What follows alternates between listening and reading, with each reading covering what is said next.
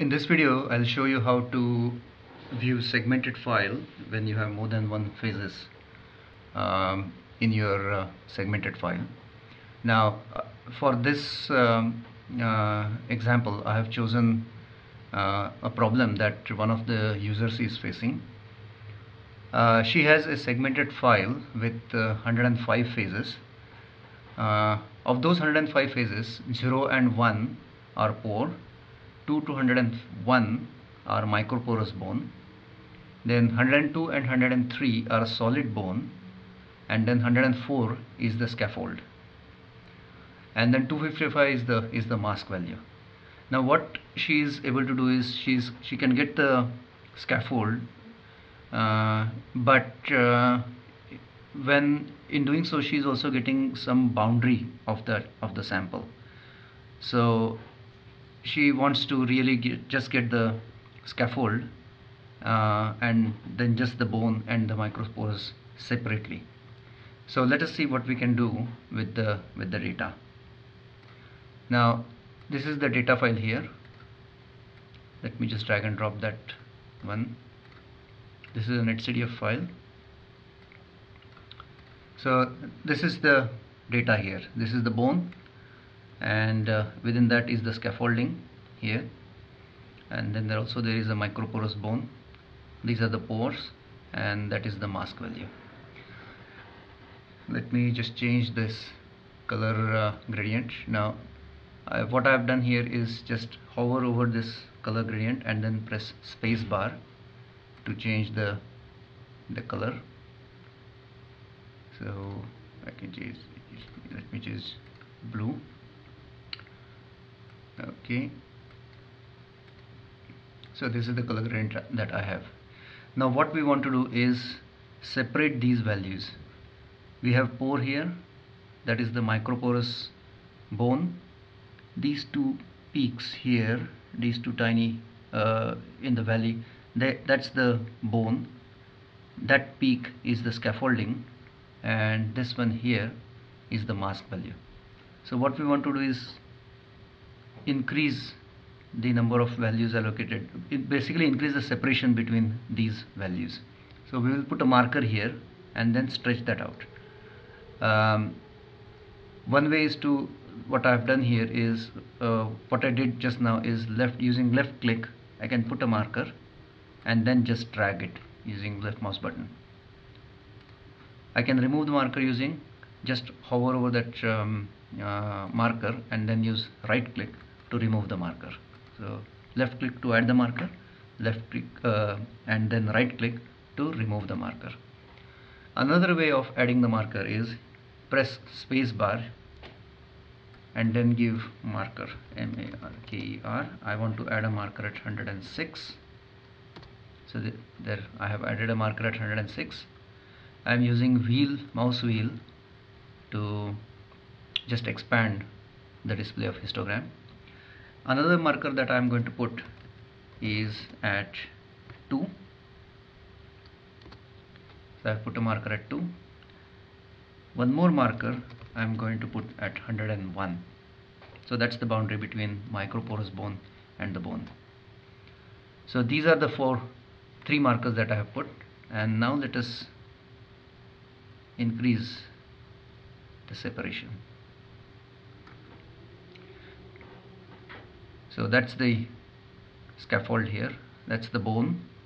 That is the microporous bone. Let me also just increase using mouse wheel. I have increased the display expanded the display and now got it back to the original size. So now we have separated these values here. This is the the pore that is the microporous bone that is the bone and this one here is the scaffolding here. Let's see that in the in the image. Let's put distinct values here. Uh, let me put dark value. So that's the microporous bone. Oh sorry that's the yeah that's the microporous bone. This one here.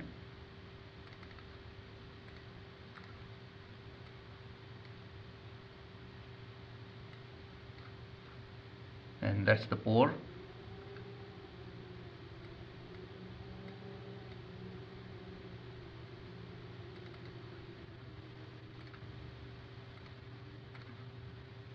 That's the scaffolding here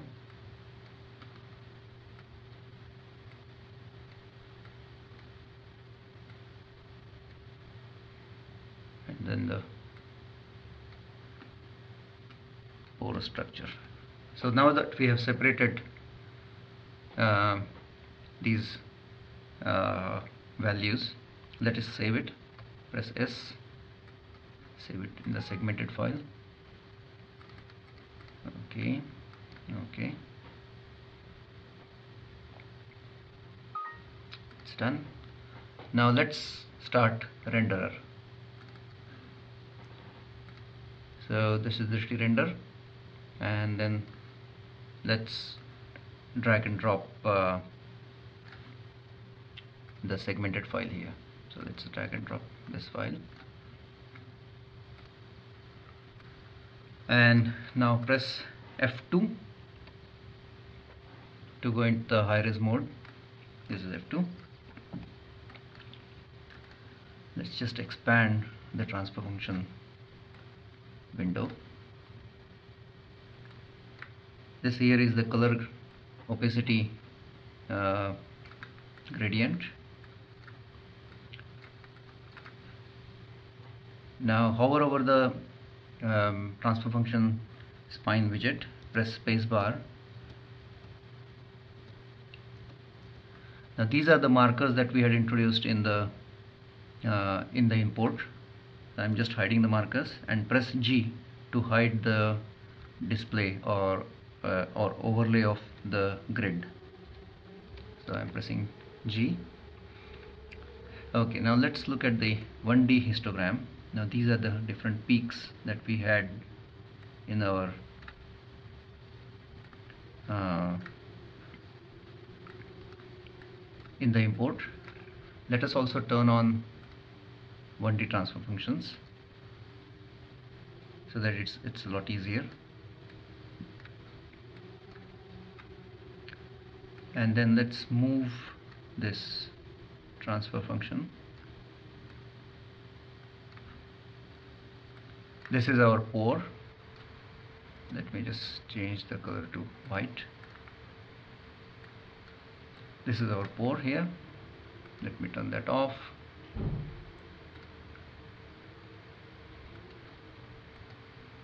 Let us bring in the scaffold. This is the scaffold here let me put it as red. So deep red is the scaffold. Let me reduce the size of the widget. Let's put another one. This is the bone.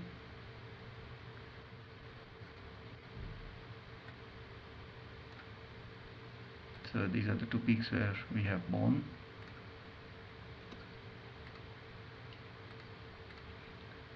so cream orange colored bone here. Cream brown bone. And then finally we have in this one here the microporous structure. Let's put it at green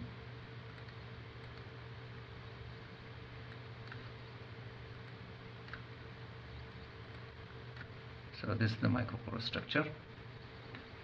Now if we turn on the markers these are these are the markers so space bar to bring the markers on. This is the bone here.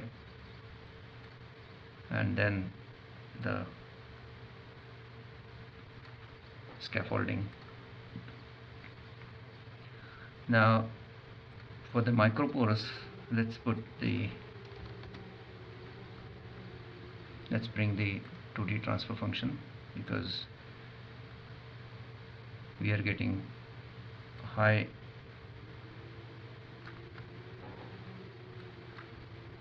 high gradient uh, voxels contributing.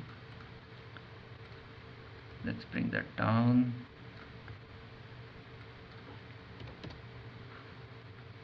now you can see if I bring that up here. There is some um, contribution from high gradient voxels. And then for the scaffolding.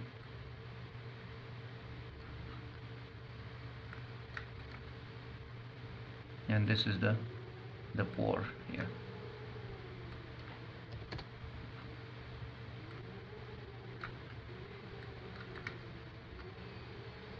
so that's the final result. Pores then the red is scaffolding uh, this one is scaffolding.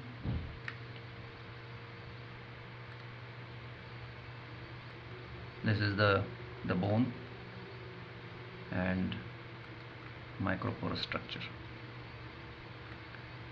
So that is how we can uh, separate the the phases and and visualize them